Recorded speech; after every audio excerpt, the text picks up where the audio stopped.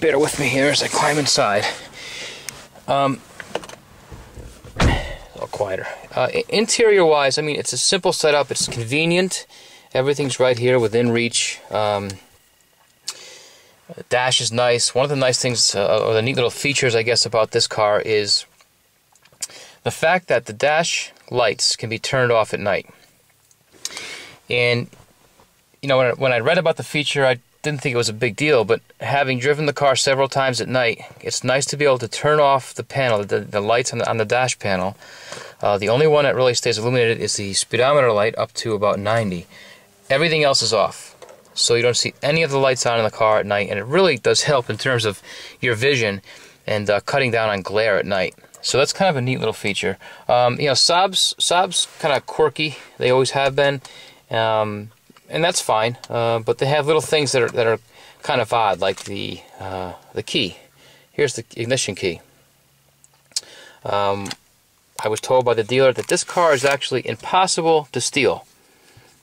Cannot cannot steal this car because you, you cannot hotwire it. The ignition is here between the seats. Key goes in. As soon as you put the key in, it recognizes the key, and um, you can hear one of the relays in the panel click on. Um, ignition on, and obviously start.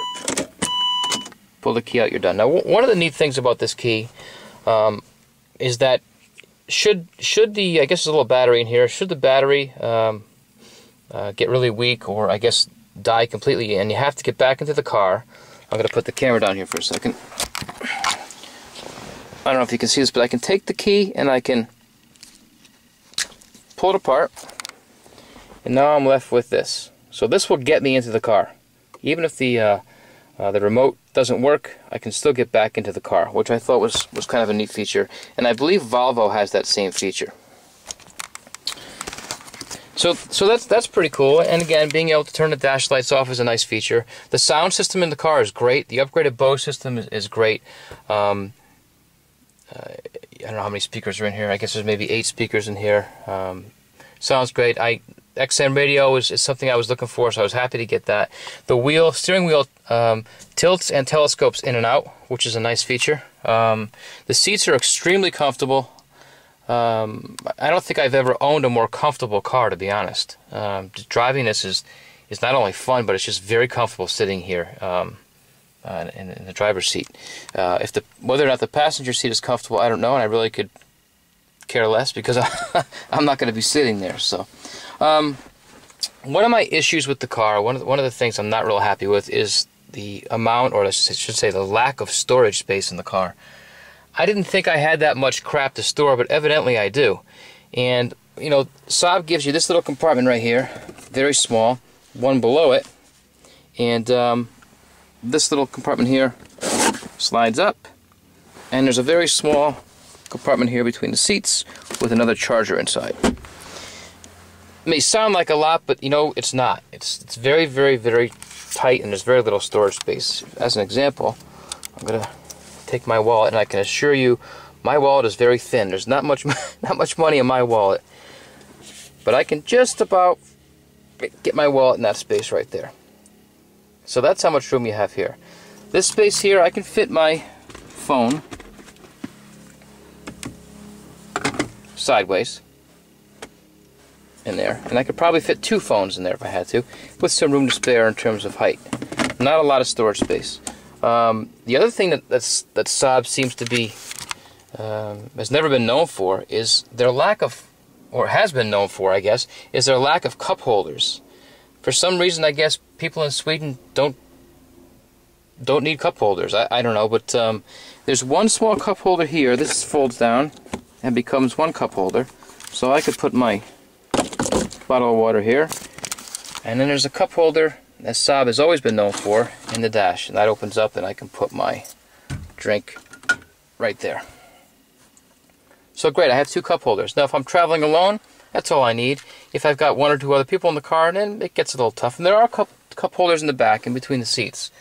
Um, but I guess it would just be nice to have another cup holder on the side panel somewhere, or maybe a bigger cup holder in here, and a little more storage as well. Now the glove box is very deep. The glove box in this car goes way back. I, mean, I don't know if you can see that or not. I know it's kind of sunny in here.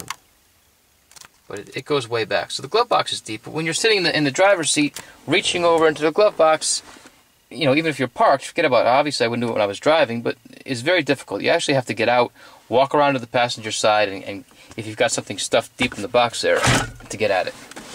Um, so I've got my drink here in the cup holder, and now let's just say for a second I want to plug my, my MP3 player in. I was thrilled to have an MP MP3 jack. My last my last vehicle did not have one, um, so that's one of the things I was looking for. Also, a lot of cars now have an MP3 um, cable or jack tucked away somewhere. Some of them have it in a glove box. Some of them have it between the seats. Saab's is right here in the front of the dash. So if I want to play my iPod, I've got to put it, plug that cable in. So now I've got a cable that hangs down here. And if I take my iPod, put the camera down for a minute, and I plug my iPod in, okay, now I've got my iPod plugged in, now where do I put it? I've got this cable here, it's going to be in the way of the shifter, so I guess maybe I could stick it, stick it in this little compartment here. So now I've got my iPod stuck in the compartment there, and I've got this cable hanging down, and I guess that's okay, but it's just, you know, for a forty thousand dollar car, you would think they would give you another place for the for the uh, cable to plug into. So while my iPod's plugged in, let's just assume I need to charge my phone. Well, the charger that I, I normally use is right back here behind the uh, shifter. So now I can plug that in there.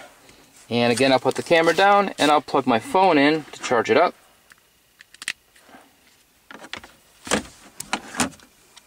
Okay, now my phone's plugged in. So now what do I do with the phone? Well, I guess I can stick this back here too.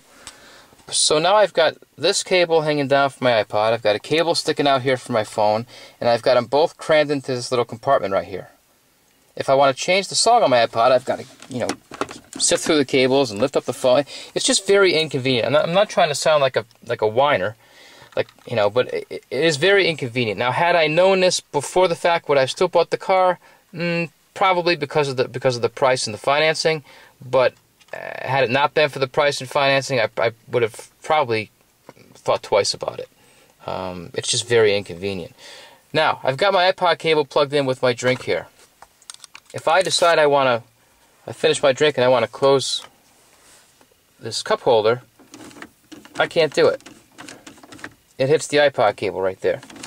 So now I've got to unplug my iPod cable. Now I can close the cup holder plug my iPod back in, which of course once I unplug it I have to go back to the iPod and turn it back on again. So again, it's just very, very inconvenient. Um, the other issue I have, uh, small issue, is there's no reading lights in the back seat. Um, you know, I've got overhead lights, but no reading lights, which would have been a nice. Uh, the Saab used to have them. I guess they they cut them out for some reason. Um, probably another um, cost-cutting move by GM. But anyway, that's my other issue. Um, so again, lack of storage space, uh, a cluster of cables, um, and having the iPod jack right there in the dash to me is very inconvenient. Now, getting back to more some of the positive things about the car, the fact that I can drop this into manual mode and paddle shift from the wheel is a lot of fun. I can also put it into uh, sport mode, and I can again drop it into manual shift and then shift right from the wheel as I'm driving. And you can probably see I'm actually in a kind of a remote location here, just outside of, of town, and there's a lot of nice roads to uh, um, to drive here. And I can, you know, it's a lot of fun to be able to be able to drop drop that into manual mode and drive through some of these back roads here. Um, so that's that's a nice feature.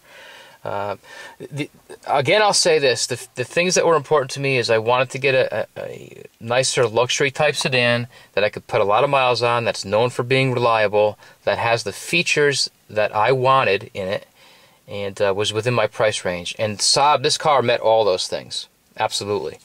Um, so, you know, overall, I'm happy with the vehicle.